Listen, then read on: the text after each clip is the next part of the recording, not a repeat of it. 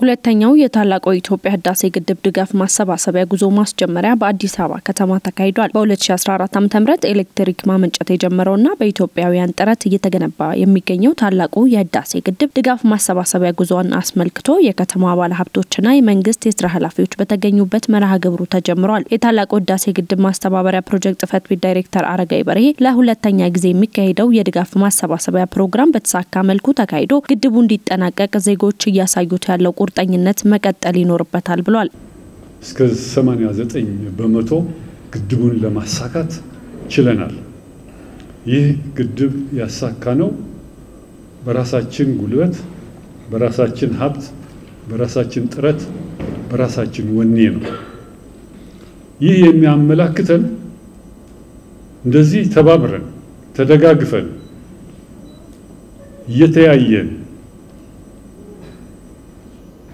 ጉዞአችንን ከቀጠል እንኳንና አንድ ግድብ ሺህ ግድብ መገንባት እንደምንችል ያሳየናል። ይሄ ቁርጠኝነት በሁሉም ማዕዝን መቀጠል አለበት። ታላቁ የኢትዮጵያ ህዳሴ ግድብን ለማጠናቀቅ 60 ቢሊዮን ብር እንደሚያስፈልግ የገለጹት ደግሞ የከተማዋ የግድቡ ህዝባዊ ማስተባበሪያ ፕሮጀክት ጽህፈት ቤት ስራ አስኪያጅ ናቸው። ይህ ደግሞ እንደ ሀገር ቢሆንም ከአዲስ አበባ ደግሞ ሰፊው ድርሻ ይጠበቃል። ከዛው ከፕሮጀክቱ አመራሮች እዛው ጉባ ላይ ያገኙት መረጃ በአሁኑ ሰዓት ፕሮጀክታችን 89 በመቶ ያህል ተከናውኗል።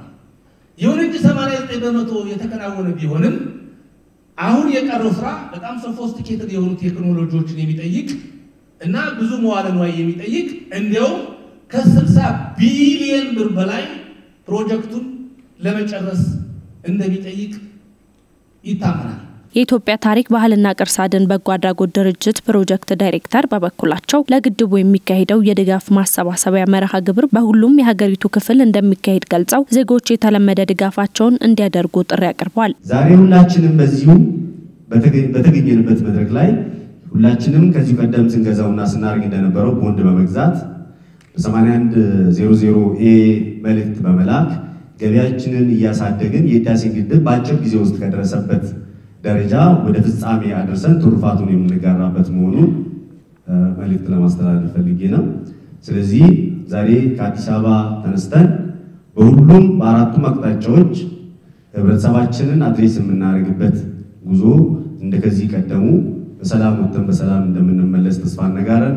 በ2015 በጀት ዓመት ለግድቡ እስካሁን ከ700 ሚሊዮን ብር በላይ መሰብሰቡን የኢትዮጵያ ልማት ባንክ አስታውቋል።